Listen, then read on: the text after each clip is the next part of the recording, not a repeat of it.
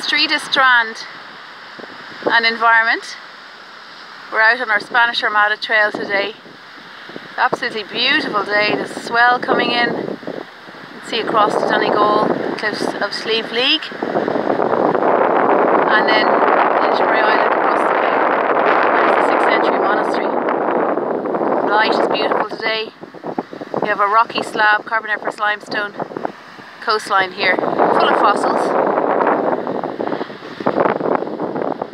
Come out soon on our Spanish Armada trail with Seatrails.